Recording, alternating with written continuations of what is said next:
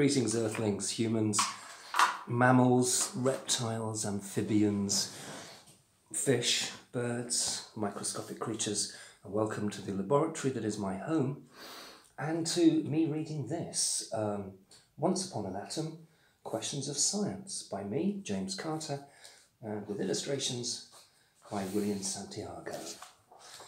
From big things to little things, invisible to living things, from cool things to hot things, there's nothing that it's not things. It's science and it's many things. Actually, it's everything. From big bangs to tiny atoms, science tells us why things happen.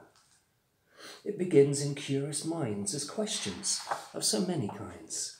Why do leaves turn red and gold? Why do fireworks explode? What are whizzes, bangs, expansions?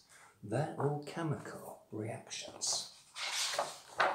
What makes everything you see?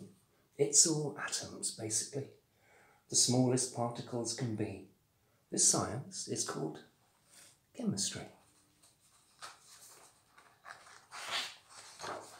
What powers our machinery, inventions and technology, our factories and industry? The answer's electricity.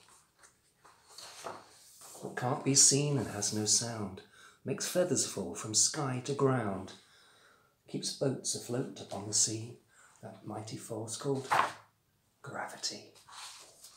We live in one great universe, and physics tells us how that works. So, how did life appear and why? In oceans first, then land, then sky. It's evolution, that's the thing. How life grew fins, grew limbs, grew wings. With medicines, we now save lives. With x rays, we can peer inside, see skeletons and muscles and guts, lungs and livers, brains and blood. From tiny flowers to towering trees, life blooms in great diversity. That science is biology.